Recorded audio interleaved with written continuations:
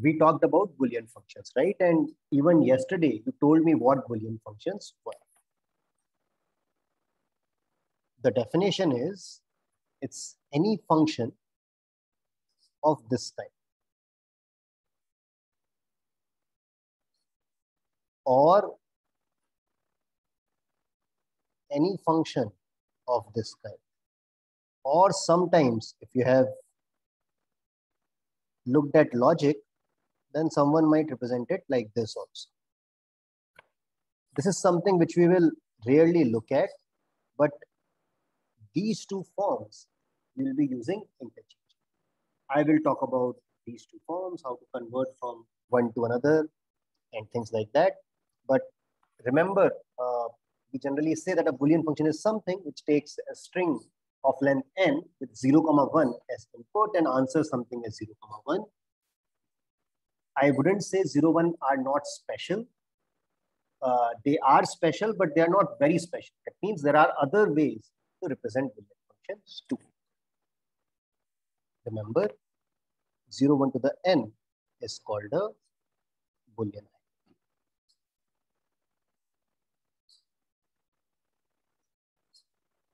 sense here, when I write a function like this, it is saying that my input is a string of length n and it outputs something from 0, comma 1. The number n here is called the arity of the function. You can also say that this is the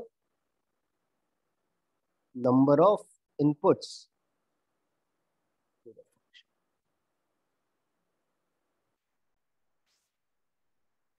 For some of you, arity might be a new word. Don't worry about it.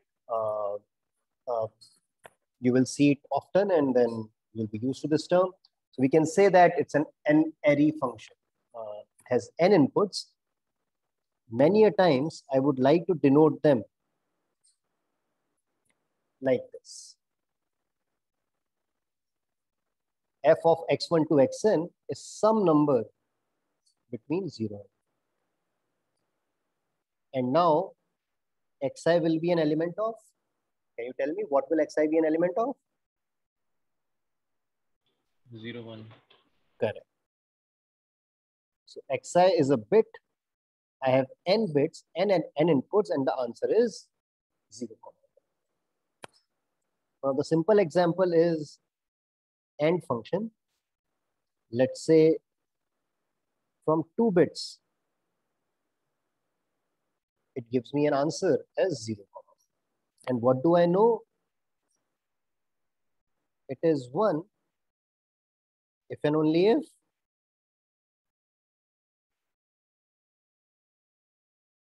So please uh, feel free to unmute your mic or keep it unmuted and then reply. That way this will become more interactive, right? So AND function, what is AND function? It is one if and only if both inputs are one. Good. Both inputs. Great. Uh, I will keep asking questions, so feel free to keep your mic unmuted and uh, yeah. And this is also called, uh, sorry, uh, one way to represent this function is called a truth table representation. Is there anyone who does not know what a truth table is? Good, right? Then all of you can draw the truth table of function n. These will be inputs and this will be my output.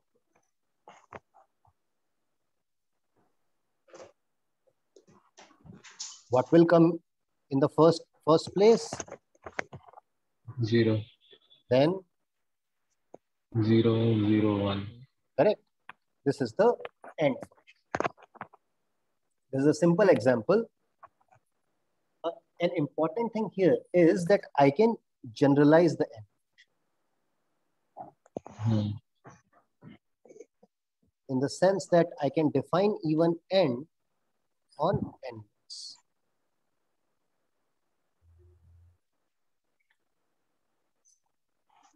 And then what what what the, what is this function? This will be 1 if and only if all uh, input bits are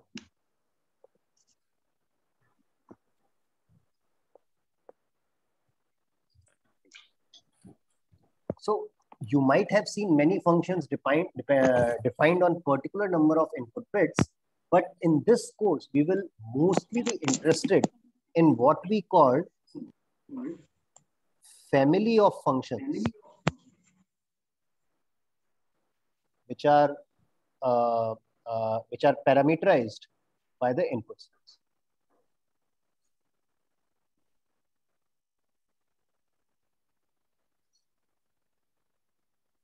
This is not a difficult point technically, but this should be clear to you. Most of the functions when we talk about AND function, OR function, majority, parity, I will talk about these functions. All of them have a general description irrespective of the input size.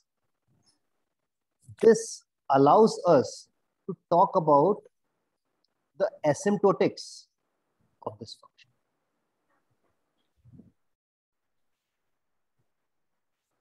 Is there any any person who does not understand what asymptotics is?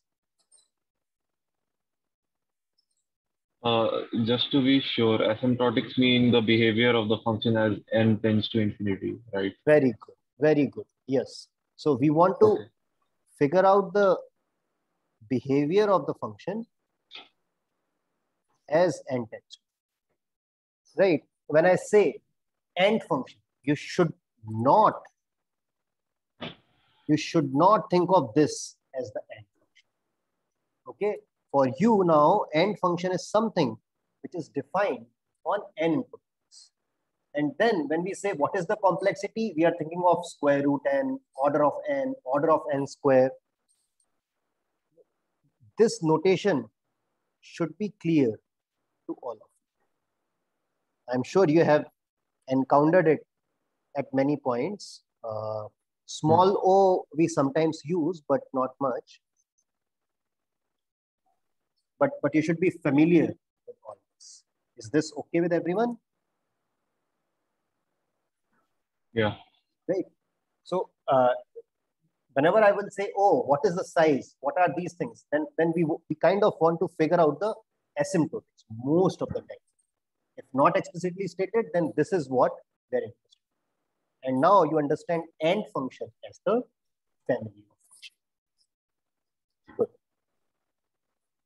Now let's let's do some exercise. Uh, a small thing. How many functions are there with arity n?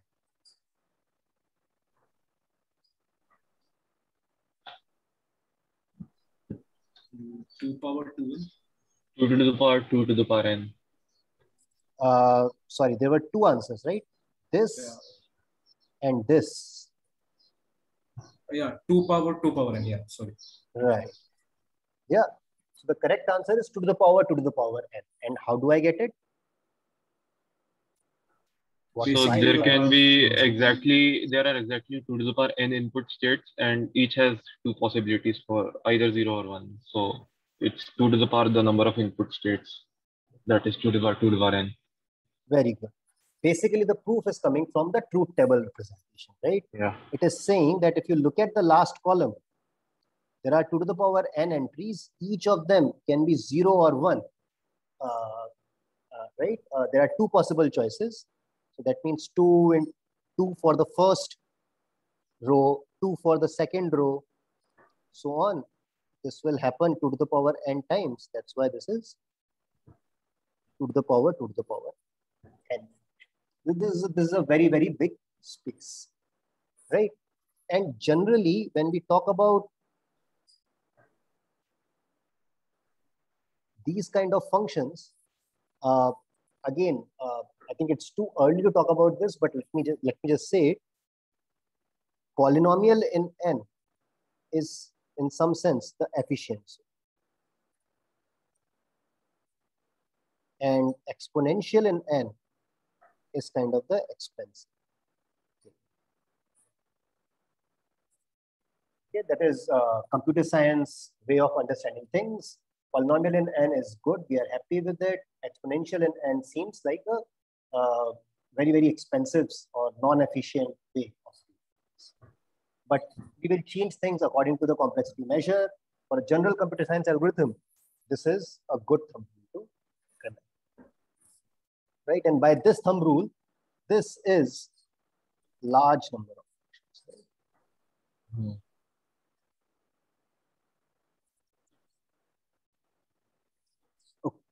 Uh, good. Now we also remember uh, that this is called a Boolean hypercube. And uh, there are two important notions on Boolean. One is called the Hamming weight. And other is called the Hamming distance. I told you what Hamming weight was. So can you tell me what is the Hamming weight? Uh, the number of ones in the string. Right. For any input, I define the Hamming weight of x as the number of ones in this. string. Now, can you guess what Hamming distance is?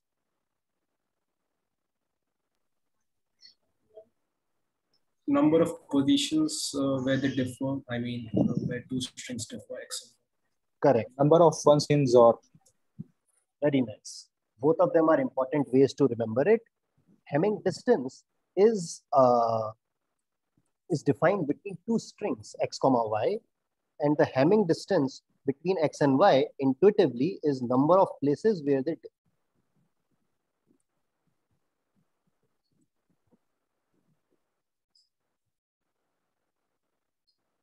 And this is very similar to uh, something which, which, which you will see in mathematics a lot of times, which we call norm and distance. People know what a norm is?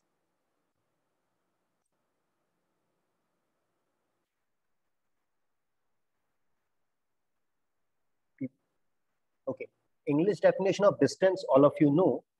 Uh, I, am going to be slightly informal about it because this is not an integral part of the course. Uh, but since it is used in Hamming distance and Hamming weight, I, I just wanted to let you know about this. Norm is kind of abstraction of length in mathematics.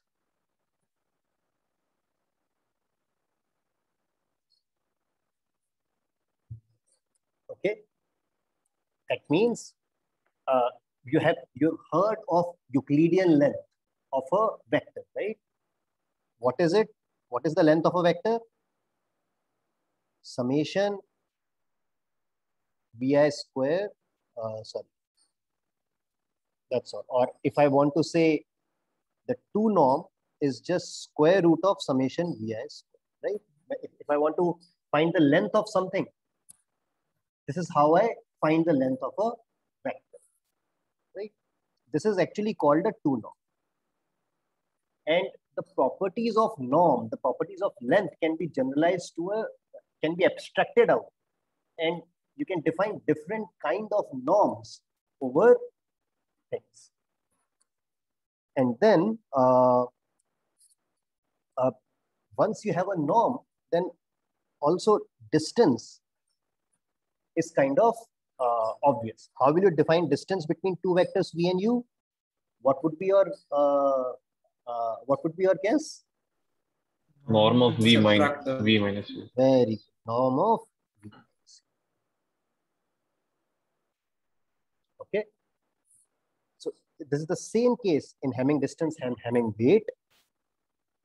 The Hamming distance between two is the, in some sense, the no, uh, okay.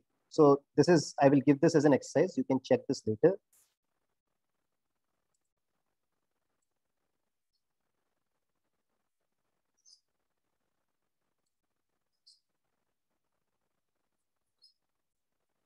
Okay. Uh, this is this is something which you which which, which uh, you you want to do it after the class but thinking of it as a norm we can define the Hamming distance by just looking at the difference and taking the Hamming distance. This is Hamming weight of x x This is another way to remember the Hamming distance. Since we are talking about Hamming distance, Hamming weight, the Boolean hypercube is also called Hamming. I will be using these terms interchangeably. Don't get confused. Right?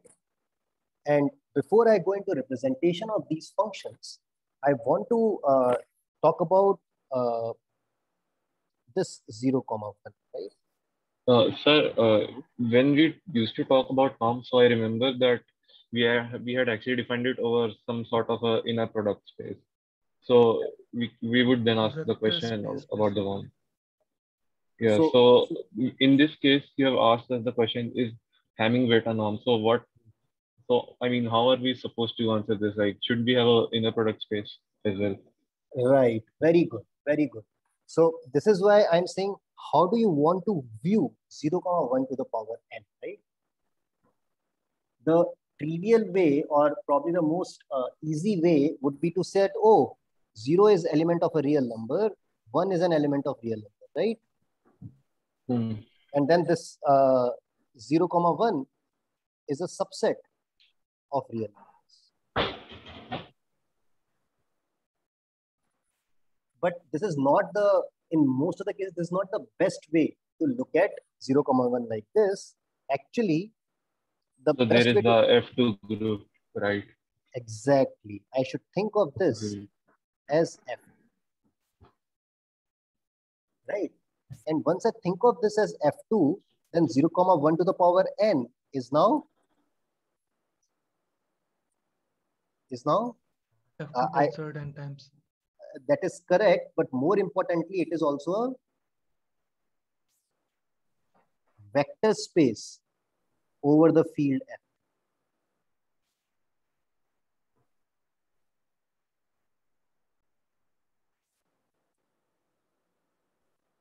Okay.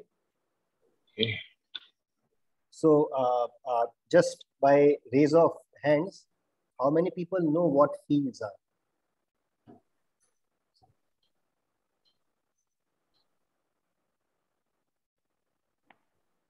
Okay, I definitely know Ashish knows what fields are. Yeah, I know, but I'm TA, so I'm not. Yeah, yeah, sure, sure, sure. Uh, that's fine. Uh, Bhanu and Debarshu. Uh, right? Uh, okay, so uh, it's it's not very very important, but uh, probably you might want to read about finite fields. Just just go over the Wikipedia article of finite fields, and that would be good enough for for this for for you at this point. Okay. Okay. Sir that, that makes sense. It's it's uh, it's it's just the way in which we we kind of think of numbers. It's, it's a different way of thinking of numbers, and F2 is the simplest finite. Right, and once you have this, then there is a lot of structure. Once once you are thinking of these as vectors, then the questions which you were asking, what is the inner product space and everything, all of these are now right. So this is why I was saying that when we talk about Boolean functions from 0, comma 1 to the power uh, uh, to 0, comma 1, this has lot of meanings. You can think of this as element of reals. You can think of it as elements of F2. You can think of them as minus 1, comma 1. You can think of them as true, false, and so on and so forth. Let's restrict to what uh, we will be using. And what we will be using is f is also can also be thought of as a function from minus 1 comma. Right? And, and the way to look at it is just to transfer 0 to minus 1 and 1. Does that sound okay?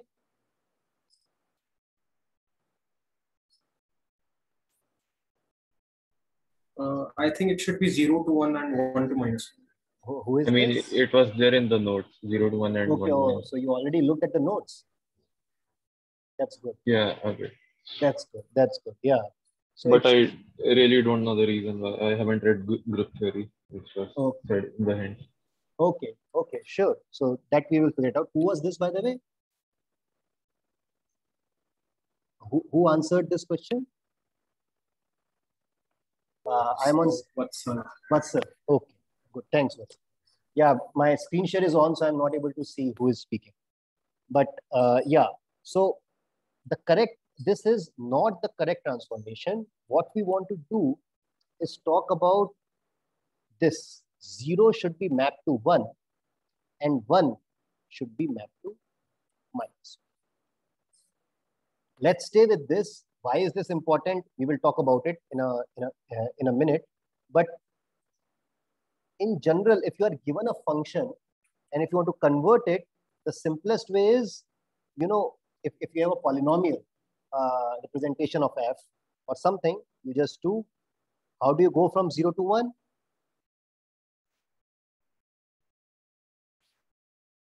Uh, 1 minus right?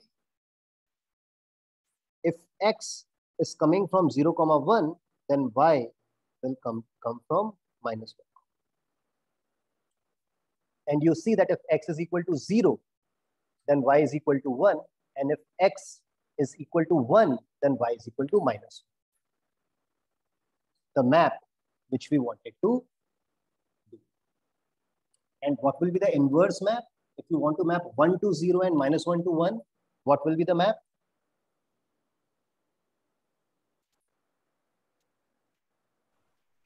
One minus x. One minus y over two. Great. So if y is equal to 1, then x is equal to 0. And if y is equal to minus 1, then x is equal to 1. The important thing here is that this relationship is linear. At this point, this might not be a big deal, but you will see when we talk about complexity measures, this in some sense shows that it's not expensive to convert from 0, comma 1 domain to minus 1, comma 1 domain, minus 1, comma 1 domain to 0. Uh, sir, uh, if we take y to be 2x minus 1, then 0 goes to minus 1 and 1 goes to Uh, minus 1 goes to 1. No, shouldn't we take 1 minus 2x? The, the, the way I want it, it should be 1 minus 2x, correct? Yeah, yeah, but uh, uh, I mean, Oh, previously you wrote that 0 goes to minus 1. So even that is fine, right? With this. right, right, right, right, right, right. If, if, if I wanted to go from 0 to minus 1 and 1 to 1, uh, then I could have done this. This is what you are saying, right? Yeah, and Yeah, it works. Yeah, yeah, yeah. I, I mean, agree with that. for- Yeah. So, I mean, I uh, wanted to know if there is any other reason. Uh, this is not the reason why, why, uh, no, no, no, no. This is not the reason why we are, we are going from 0 to 1 instead of 0 to minus 1. Right, right. for that way, you know, there is a linear relationship between 0, comma 1 and any a, comma b. Right? Any domain, the domain 0, comma 1 can always be transferred to a, comma b. Okay. Yeah. Right? And, and it will be a linear relationship. Why? Yes. Yes. Why?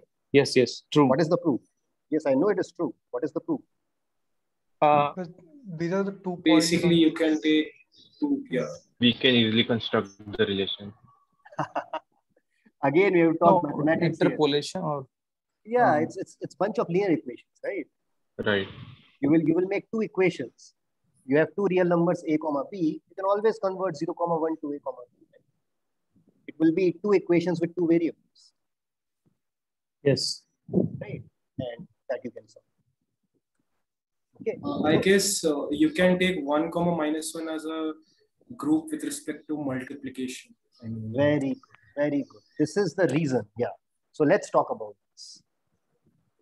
Uh, I understand some of you do not know group theory, but uh, let me just try to describe it. There is this, this simple group Z2. Think of it as another set of numbers 0, 1, where 1 plus 1 is equal to 0. In this, in this number system, in this new number system, there are just two numbers and you can add, subtract, multi, uh, subtract, whatever you want to do. You can do and you will still remain under set. Such a thing is called a group. Okay. And, but this group can also be viewed. So here the operation was plus, but the same group can also be thought of as a multiplicative group where the two elements are minus 1 comma. And what happens with minus 1 comma 1? With multiplication, minus 1 comma minus 1 is equal to 1. 1 comma minus 1 is equal to minus 1. Minus 1 comma minus 1, uh, sorry,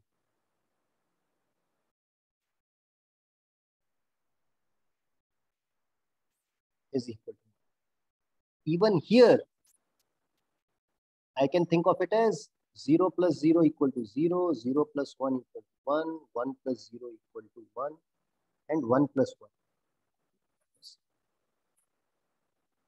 Now these two labels, these two uh, tables might look very, very different. But my point is they are just different by a label. If you convert 0 to 1 and 1, uh, let me just uh, do it this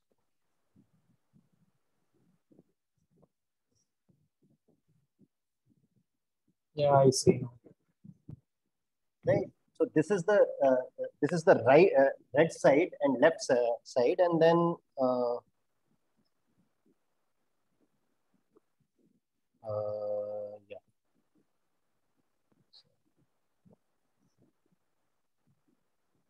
So blue side, and what is the thing here? It should be one minus one and multiplication. this labeling, if I make this label change, then these two tables will look exactly the same. Yeah, zero is identity there and exactly one is identity.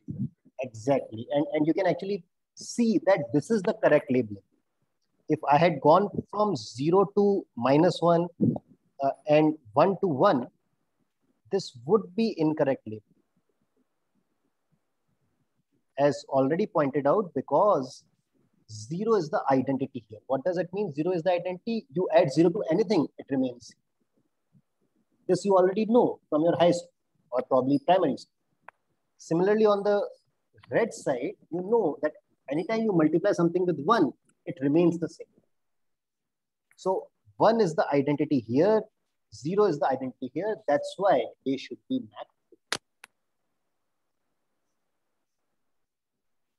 uh, again, I can't tell you why this group structure is important. That you will see. You will see from next week. We're going to talk about Fourier analysis, and that Fourier analysis comes out because we view 0, comma 1 as a group. And that is the reason, since we are viewing it as a group, when we go from 0, comma 1 to minus 1, comma 1, we want to keep the group properties same. Make sense? this this labeling thing does that make sense yeah what is the mathematical name for this this thing called this thing labeling isomorphism very good very good yeah.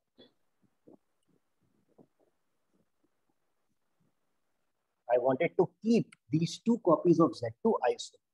And that is why I mapped 0 to 1 and 1 to minus. So no doubt there are many some applications where the uh, the representation which I have crossed out at the bottom will be good.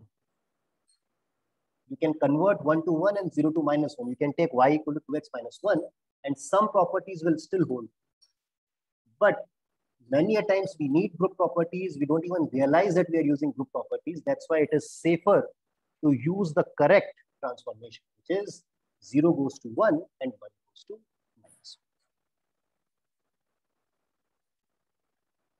one.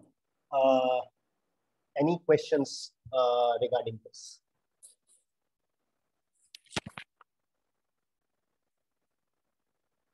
Okay, good. So we are happy, right? Uh, we are happy with uh, how the Boolean function, what Boolean functions are, what is the Hamming distance, what is the Hamming weight. But then uh, let's talk about representation of Boolean.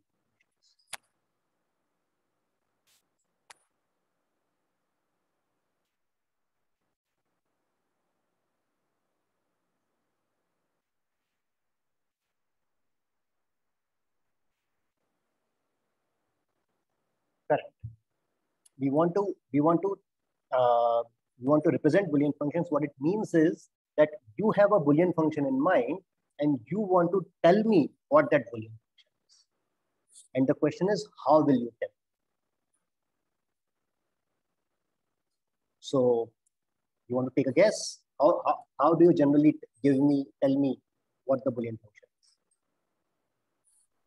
Truth table. Okay, very good. We have already seen truth table. Is that the more nat most natural way? I told you few functions. Did I give it to you in truth table format to start with? Yeah, like representing using and or and not uh, function representing using these But three how- operations. But how did I tell you what and function was? Defining all over all inputs. I mean, That is Right. truth table.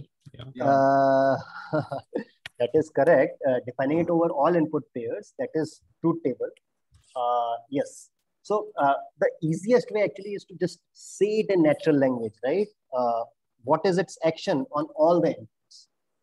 And the way I described and was, I said, if all inputs are one, then it is.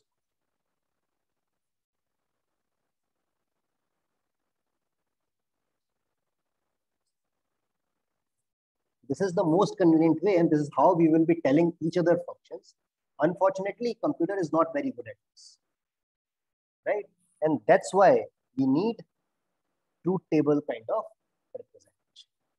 Now, truth table is also okay, but uh, when I say truth table, you realize that uh, ultimately only the last column was the important column.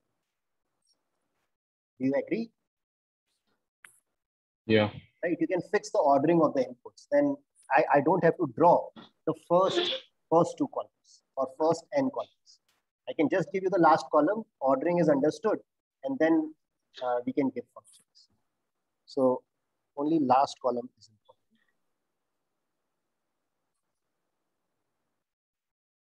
In other words, I can think of my function as a vector with 2 to the power n.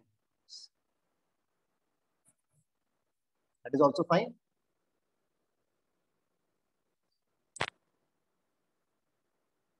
Yes, no, Yes. Yeah. it's not fine.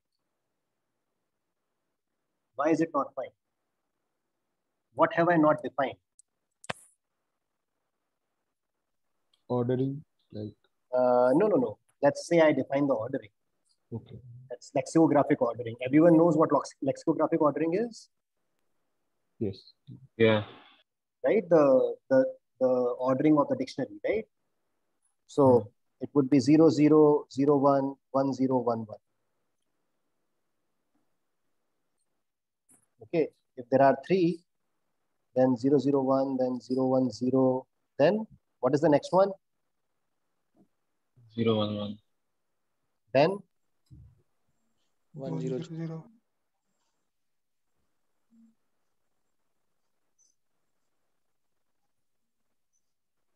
right? This is the lexicographic order. So fixing ordering still, the problem is this vector. What do you mean by a vector?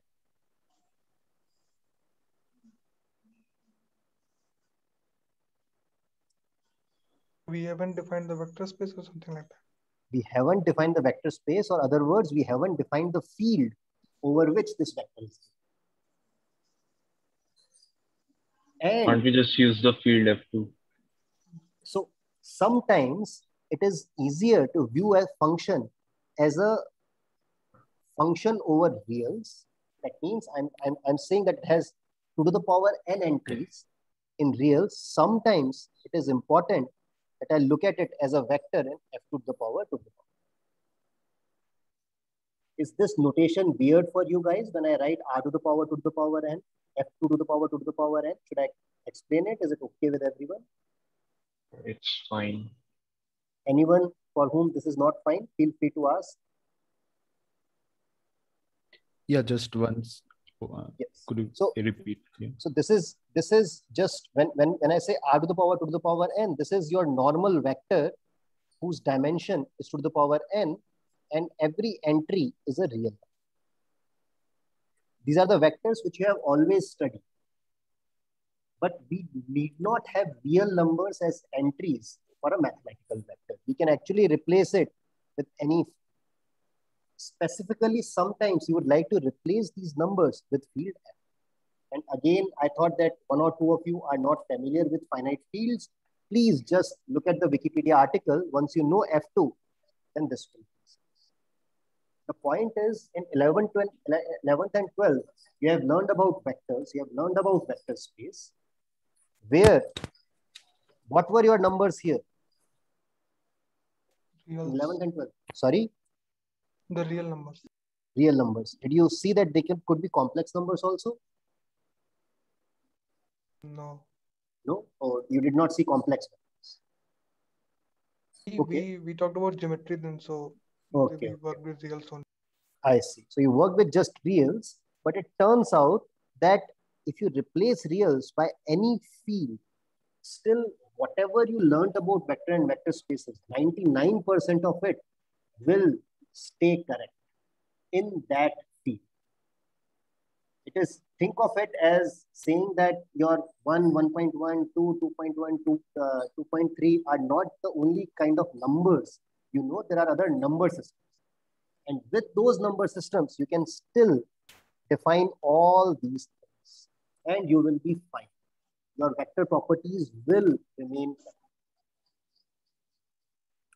It's not a big deal. We will slowly look at this, uh, but it will be a good idea for people who don't know what fields is, just to brush it up by looking at the finite field. It will probably take, take you half an hour or something.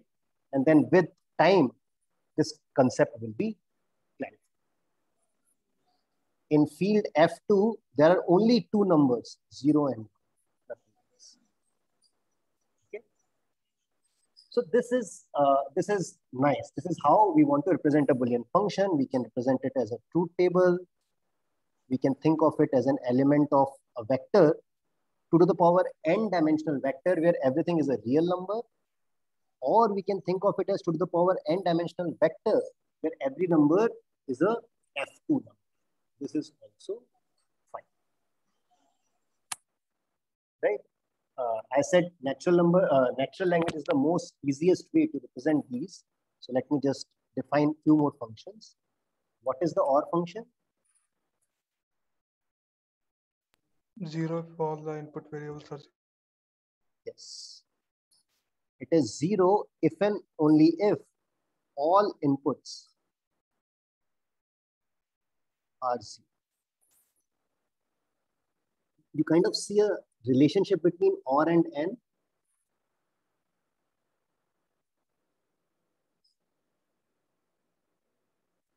AND was one if and only if all inputs were one, or is zero if and only if all inputs are zero. Right? So what is the relationship between AND and OR?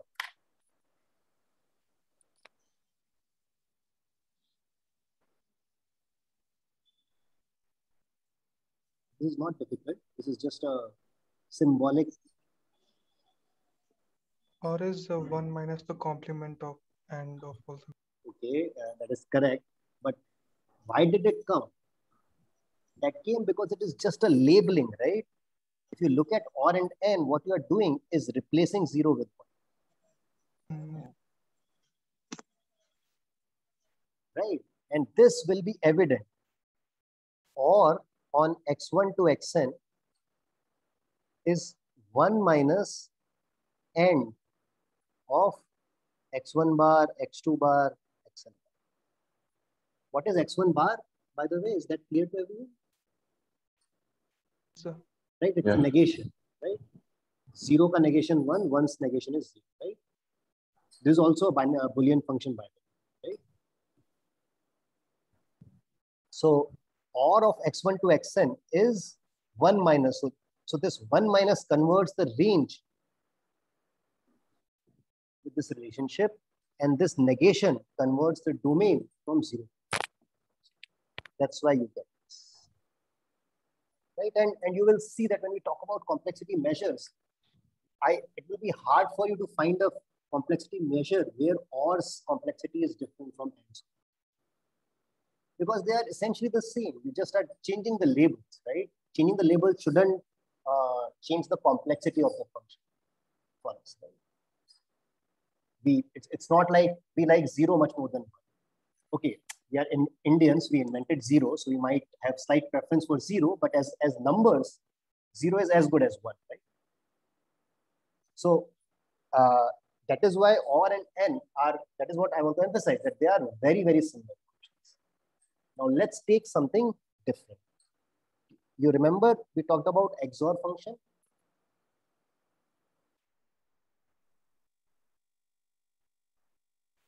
Uh, just one small thing. Uh, so the result of the OR function, it will be a uh, it will be a member of the field F2, and so is true for the AND function, right? But we haven't actually defined the subtraction. So uh, I guess the subtraction is just we haven't defined the subtraction for the field, right? Field F2. So the summation for the field works like subtraction, right? Yes. Oh, okay. So it's XOR as well. Yes. Oh, okay. It makes sense. Thanks. So the generalization of XOR is called parity.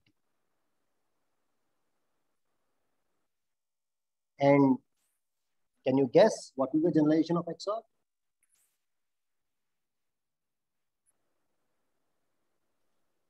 One if odd So- number of input variables are one. Right. Yeah. Is one if if and only if odd number of inputs are one. If I wanted to represent parity in minus one comma one basis, then it will be minus one if and only if odd number of inputs are minus one. Right? Given this, actually, it is very, very easy to represent parity as a polynomial. So can you write what parity is as a polynomial? The product of all the variables. Correct. If I want to calculate the parity, it is just x1, x2 up to x. Right? I will just multiply all the individual bits and that will tell me what is the parity. Was that a jump? That was quite clear, right? This was easy. Is that okay? Yeah. Good. Uh, yeah. Another interesting function, or uh, should I talk about the functions, or let's take uh, let's take one other representation. How many people know what is the DNF of a function?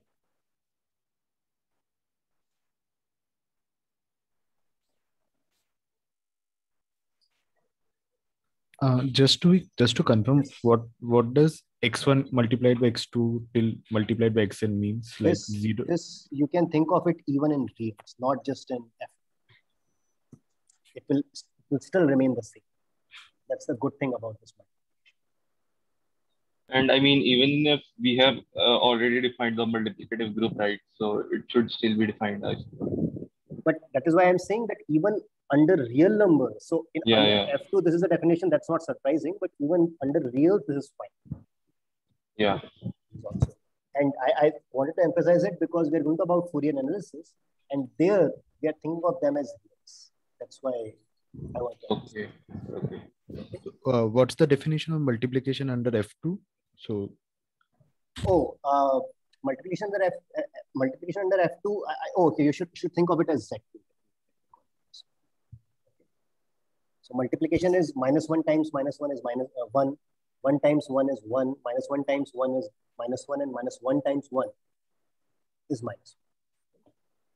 okay, so in zero zero and one, uh, if we do it in zero and No, one, no, no, no, no. So this is this is again. That's why I said that once you switch to minus one comma one basis, then it has a very nice. Okay, okay, okay, okay, yeah. you can define this weird multiplication between 0 and 1, but let's not do it. Uh, you can uh, you can write it as this if you want to write it. But that is just saying that I am I'm generalizing XOR function. Okay, yeah, got it. Yes. So who will tell me what DNF is? So the DNF is like the sum of product form of the Boolean function. Right. But now you know what AND and OR are, right? Right. So then the DNF is Uh, Or of ands. very nice. It is or of and. or of n. That means uh, this is another notation. Uh, hopefully, many of you will be for, uh, familiar with it. This is AND. This is AND of x1, x2, x3. Or of x1, x2, x3 is denoted by this. Right? And now uh, you will prove it in the assignment that every function can be written in this form where you know there is a clause or so here everything is and this is and make sense uh, does the dnf form make sense Yes. sir. Yes, sir. Any anyone not clear about this dnf form i'm sure every computer scientist has definitely seen it right so right so for example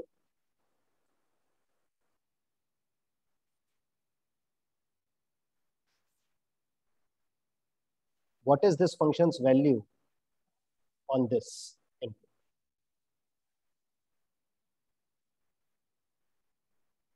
uh sorry i i, I sorry sorry sorry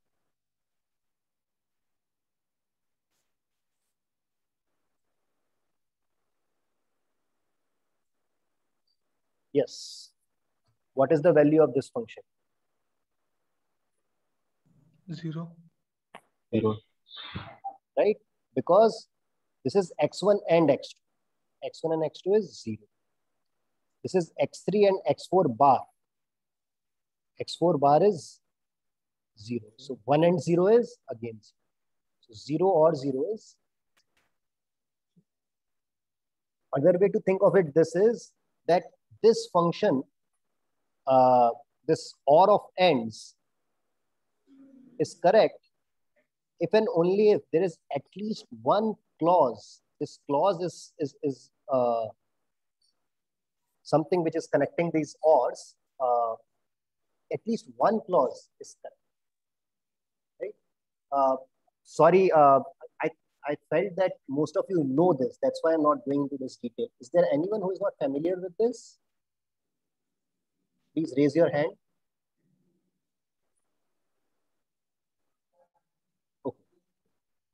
Okay, since all of you are familiar with it, uh, let me ask a, a question, right? So, yeah, so um, let's do this assignment problem, right? I said that every function can be written like a DN. How do you prove this?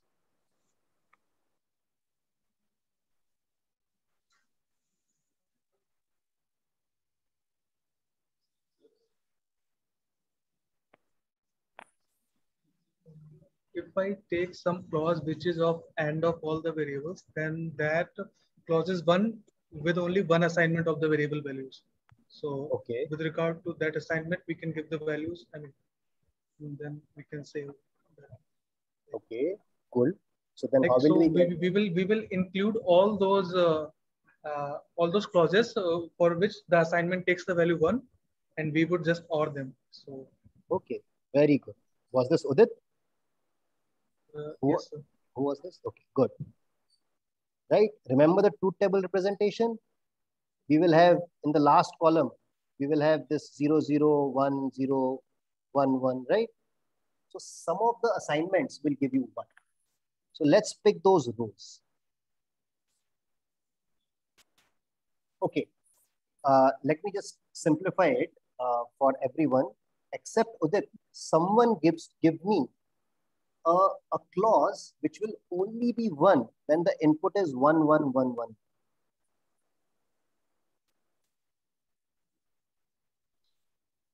Except that anyone give me a clause which will be one only if my input is one, one, one, one, one. The and of all inputs, x1 and x2 and. Right? Very, very simple. What if my input is this? I want one only when my input is this. x1 bar and x2 and till xn. So wherever there is a zero, we just replace that corresponding uh, xi with a xi bar. Exactly, exactly. So wherever there is a zero, we represent, we change xi to xi bar. This way, we have one clause for every satisfying? So one clause for every satisfying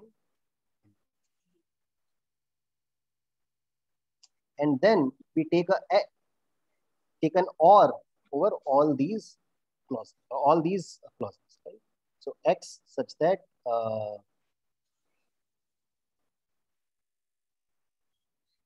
f of x is equal to 1. This is the clause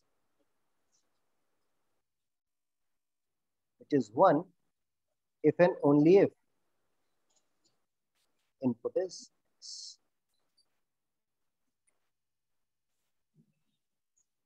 Right? Uh, any questions about this?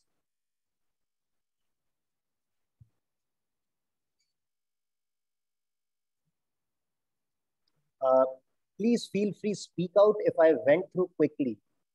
Is there anyone for whom this was too quick or this is this is uh, this was fine? Raise your hand if this was fine with you.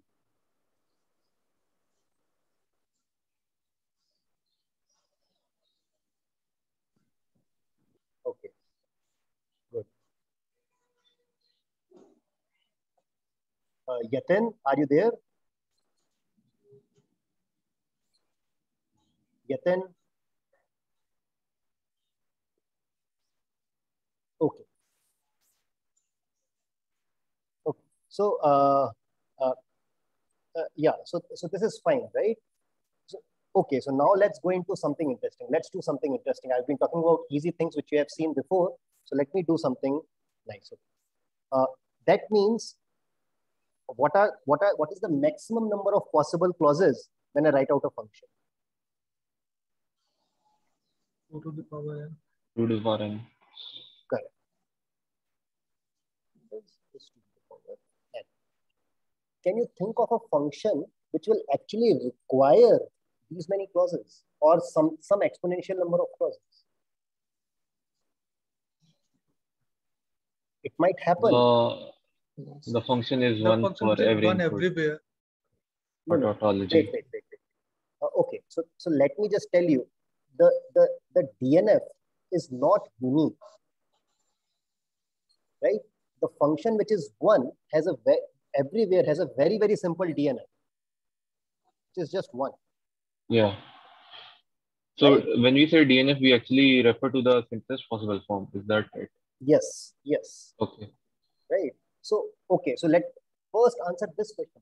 So uh, for OR function, right? OR function, again, very, very simple DNF. AND function, very, very simple DNF. Can it happen that all functions have a small DNF? When I say small DNF means small number of clauses. Uh, consider the function with alternating ones and zeros yes. in the last Half column. I, I don't think we can simplify it any further. Okay, okay. Uh, But- so it will be 2 to the power n minus 1. Okay. Uh, so that is just a guess, no? You don't yeah, have a it's proof. a guess. You don't have a proof, right? Right. but but you are going on the right track we will talk about this but but first tell me it's it's then first let's answer the easier question can it happen that every function has a small DNF?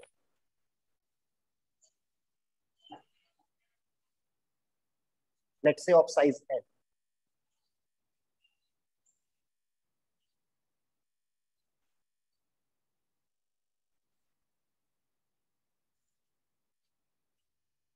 Yes, no?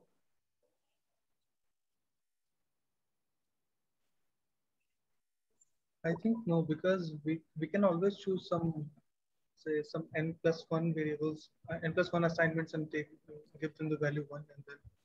No, no, but, but how will you show that a, a, a small function, small DNF does not exist? You need to have an argument, right? So, okay. So the, the important thing here is that you have too many functions.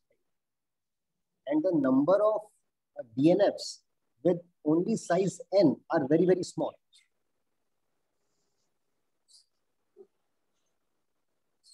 Right? So anyway, uh, let's let's talk about so if, if uh, uh, talk about this. So so let's try to construct an explicit function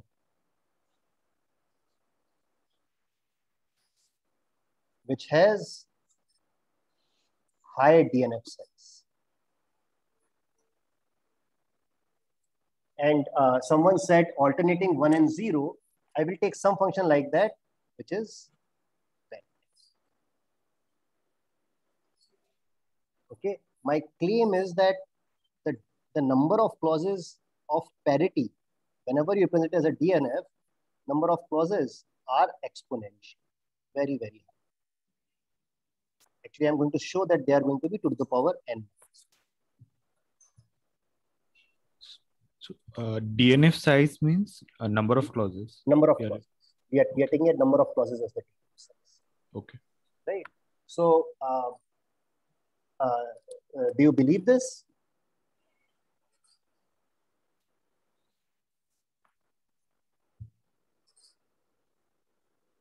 Yes, no? How many people believe it? Raise your hand if you believe that uh, parity is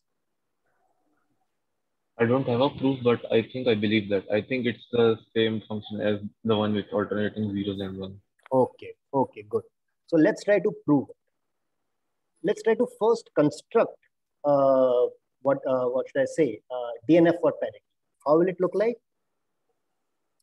We know, right? We'll just take the truth table and we will have these clauses where exactly odd number are uh, are in the regular form and other are negative. Right? So for example, x1 or x2 bar, sorry, x3 bar, so on and so on. Right? Sounds good. Remember parity? Parity meant an odd number of things should be one. So then for each of these inputs, each of these assignments, I'm writing one clause each. Right? So the DNF for parity is, is, is uh, pretty clear, easy to get. Yes, no, yes. Okay. Now we have to prove that this is the best possible DNF. Okay.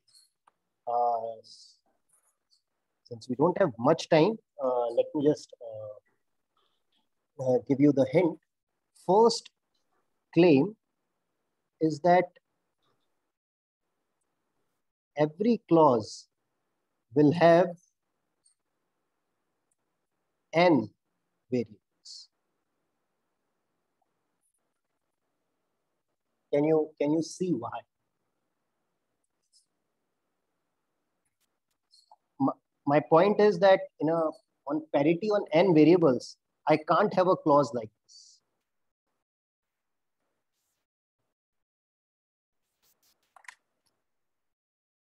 Uh, because uh, the number Uh, of if we had a if we had a clause like this, we could further split it up into uh, clauses of uh, n variables, but those will not be. But that would not be possible because that would mean that the parity uh, then the parity then there would one of it would have odd number of uh, odd number of regular uh, regular variables and the other would have even number of regular variables Okay, very good. You are in the right direction. Let me just clarified clearly. Does anyone else want to take a guess except Udit and uh, this was Aditya, right? Right. Right. Yeah. So except Udit and Aditya, anyone wants to take a guess? What? Why? Why will every clause have n variables? Why are n variable n minus one variables not good? So if we take n minus one variables, then the uh, variable which is not included, we can and and it let's say xn is not included, then we can add and xn or xn bar, and then we can split it and whatever he said will there will be two terms which are like contradictory to the definition of parity. Very good, very good. Simply put, if I only take n minus one variables, then this clause can be satisfied just by keeping those n minus one variables in a certain form. Right? That means this function is one independent of what is x. If I set my n minus one variables in some way, then there, there is an assignment to first n minus one variables such that parity is always one if this was a DL. But that can't happen. I can always decide whether I want to keep xn as 1 or minus 1. And then the function value changes. Right? This is in some sense the hardness of parity. Even if I know n minus 1 variables of parity, I cannot be sure whether the parity is 1 or 1.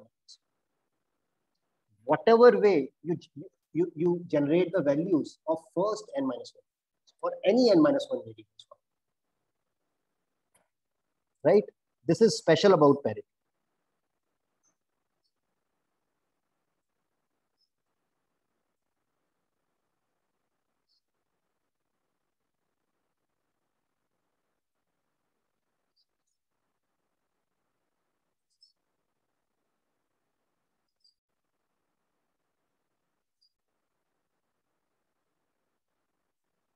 Such that fx is equal to 1 and fx prime is equal to c. Right? But if there was a clause of size n, uh, uh, n minus 1, then the function would become 1 as soon as I set those n minus 1 variables. After setting up those n minus 1 variables, I do not have to worry about the nth. Right? So can I say that this, this claim is proved? Anyone confused about this claim?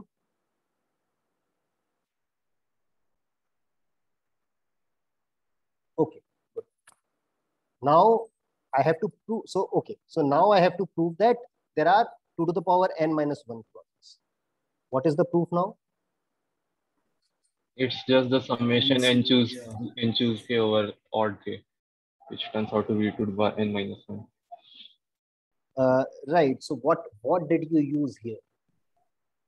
Hamming weight should be odd. I mean, basically you're trying to uh, I mean, uh, there are exactly n choose k. There are exactly n choose k clauses which have k, uh, which have uh, k uh, variables in the regular form. That is So- true, but uh, yes, but what are you assuming here? Uh, how are you using the fact that every clause has n variables? I mean, it comes from the fact that I am using the number as n choose k. So if every clause, we know that the uh, we know that every clause has n variables. Uh, So there would be like there would be exactly n choose k clauses which have n variables, and out of which k variables are in the regular form. Uh, yes, what Basically, you're want saying is correct, but it's not a proof. Yes. Yeah basically what we want is something like this that uh, when we when do we include a clause when Hmm. that out when the output corresponding to that is one right so uh, Uh, that is not generally true, right? When there is no one value for a clause, but when when every clause has n variables, mhm. then then the clause corresponds to Only one assignment and there are two minus one assignments. be true. Very good. When the clause has n variables, then it only corresponds to one particular.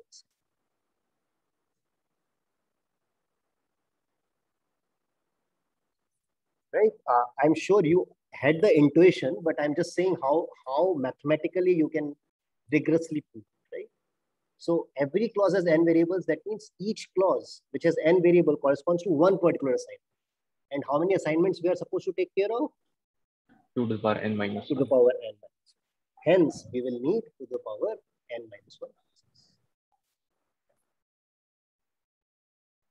Okay. So this shows that parity is expensive in DNF. Right? Uh, we have already seen uh, actually one way in which we can define complexity. Many a times the size of the representation is a good complexity.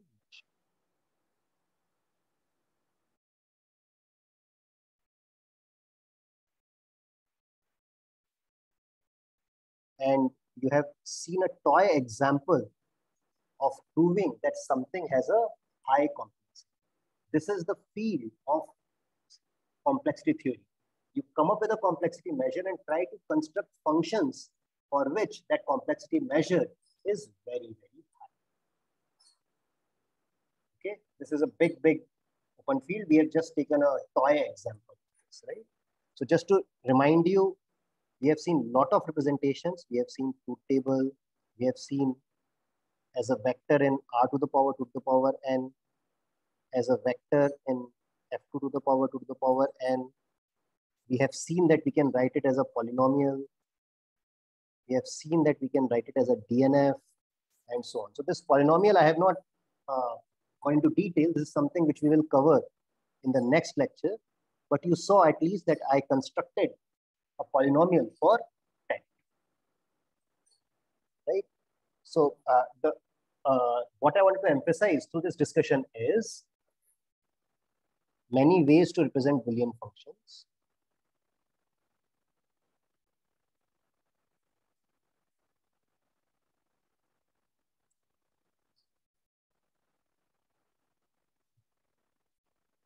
Uh, sometimes size of representation can give us a complexity. And you have seen a small proof by which we actually showed that some function is very, very complex according to the DNF.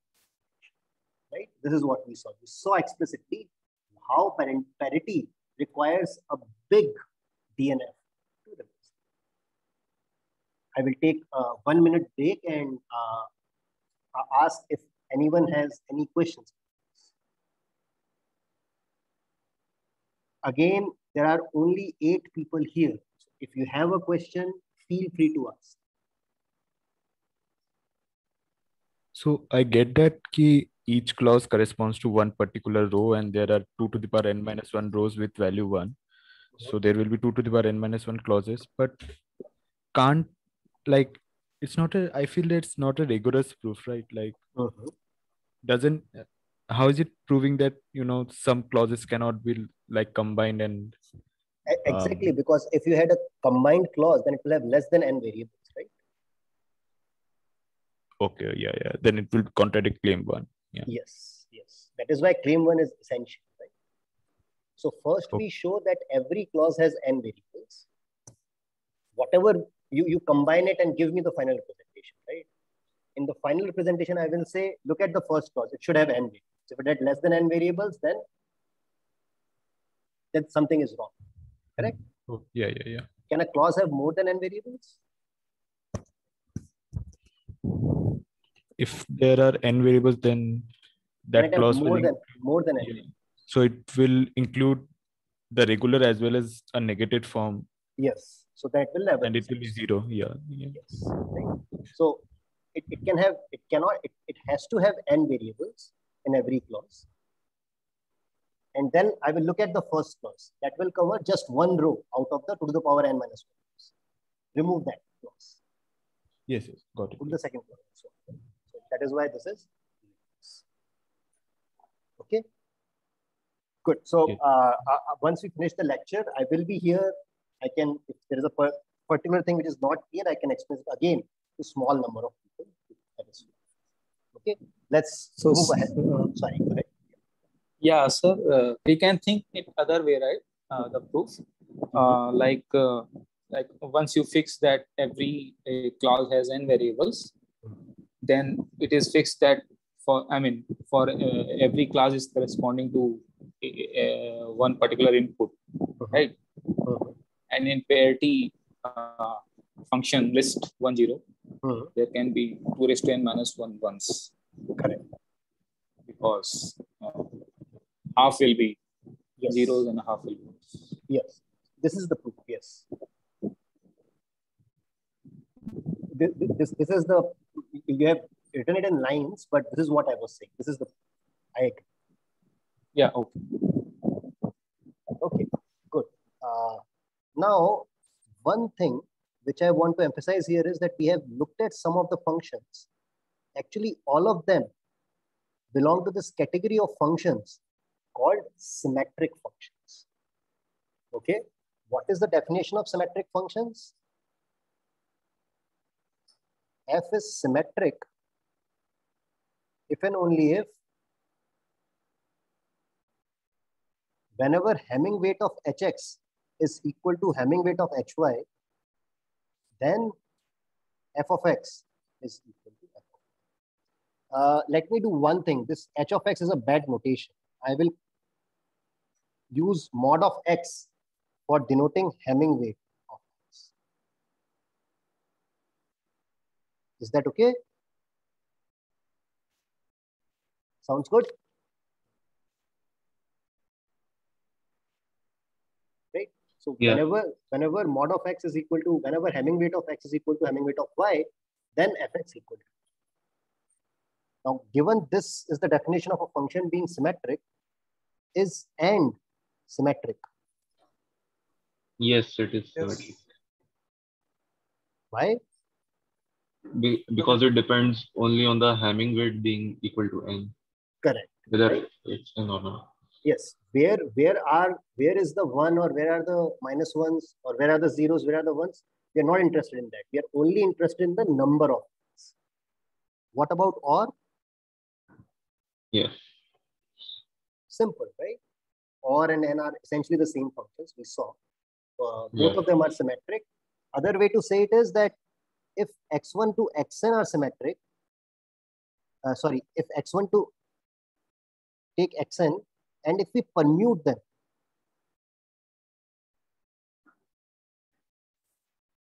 the function value will be the same. This is another way to say it is symmetric. Right? So you take any input, you permute it's it's in uh, per, permute the the elements, right? So one zero one, you can permute it. Let's say shift it by one. It will become one zero, right? Move move everything one step right. This is another. This is a permutation. But that means for a symmetric fun function, f of 101 should be equal to f of 1. What about parity? Is parity a symmetric function? Mm, Yes. Right? Yes. Again, because it depends only on the Hamming. We are saying Hamming weight should be Odd.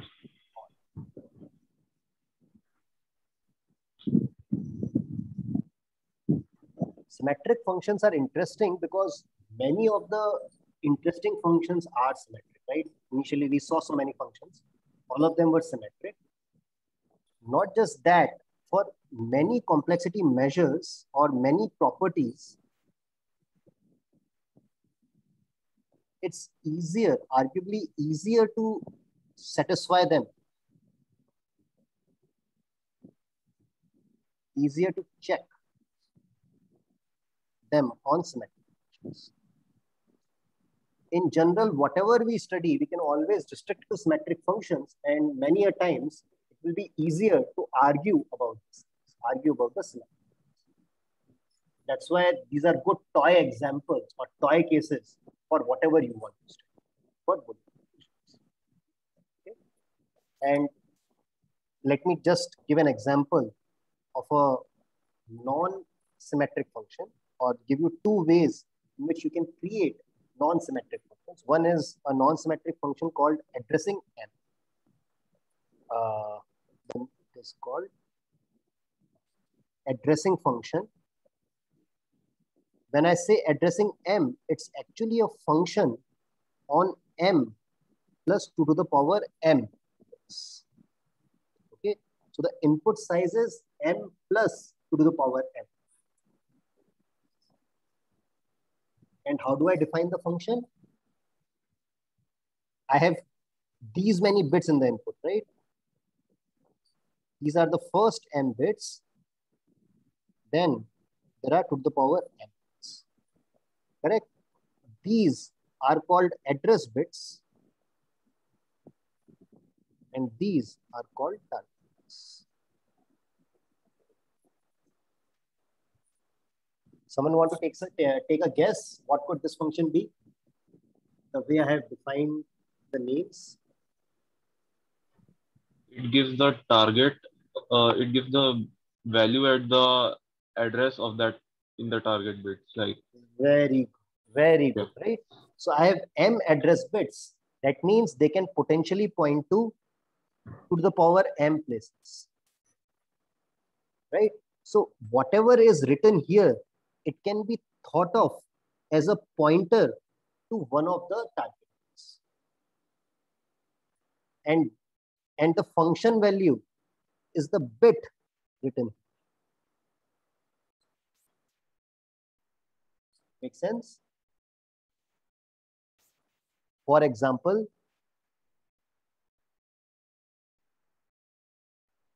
what is the function addressing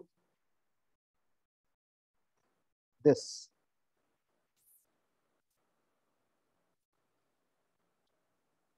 Zero. Zero. Right, because this is the address. This is says that here, look at the fourth bit.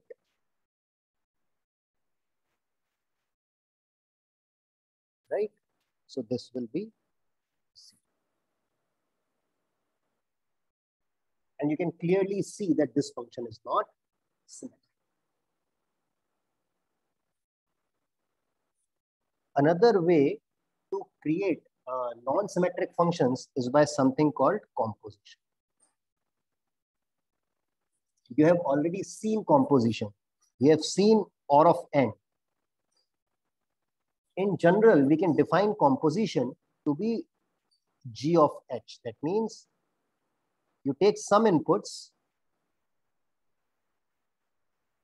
apply H on them,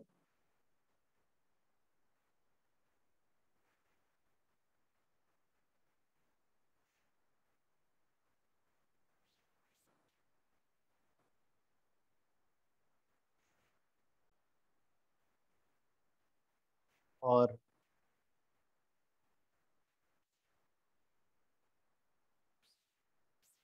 So take few inputs, apply H on them, then take another input set of inputs, apply H on them, and then take the answers and apply G on them. That is called the composition of G and H. It is denoted by this.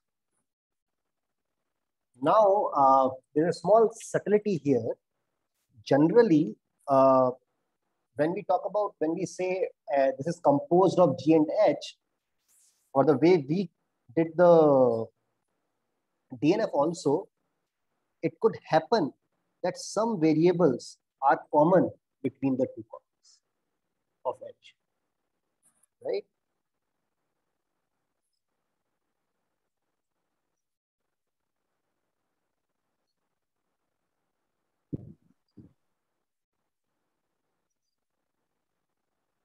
And each copy of H need not have same number of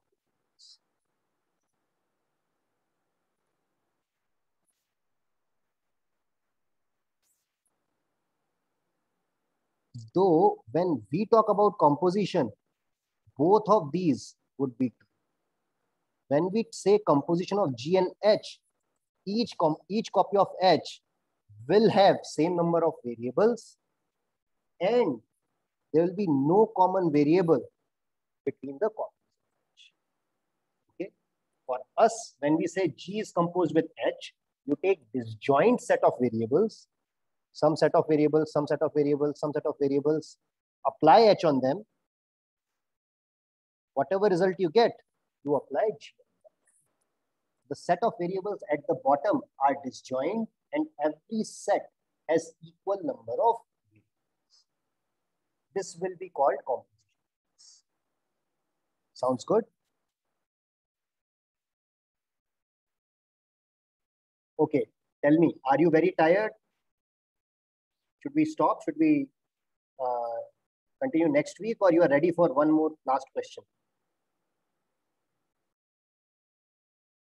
Okay, who is ready for one more question? One more question. Okay. Okay, majority doesn't want me to continue. So, One more question. uh, Debarsho, Aditya, and Udit, right? Uh, okay, two people. Okay, that's fine. Uh, uh, okay, okay. One more question. Okay. You know what majority is? What is the majority function? Again, it is a symmetric function such that if more number, if number of ones is more than number of zeros.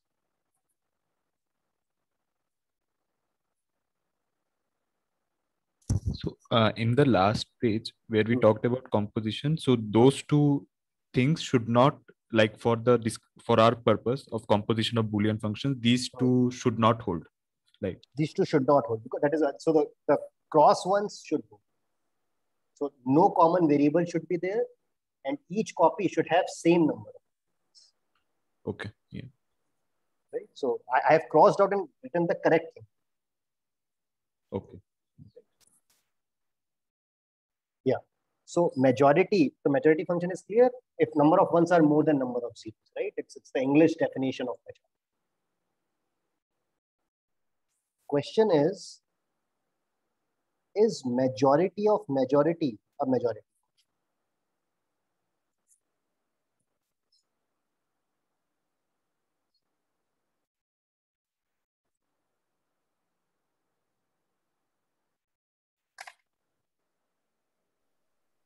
So majority outputs one if number of ones is strictly more than number of zeros. Yes, that's good.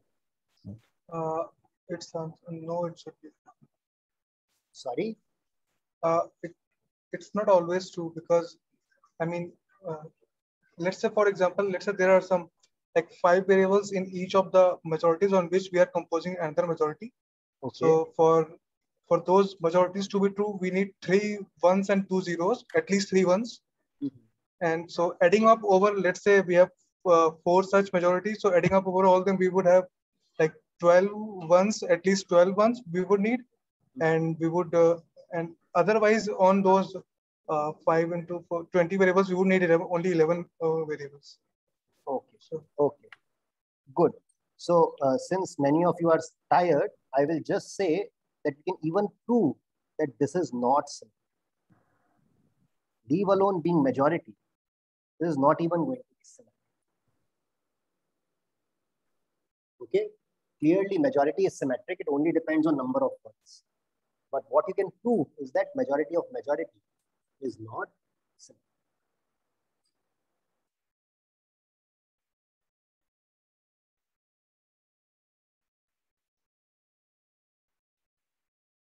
Okay. So this, I leave it as an exercise.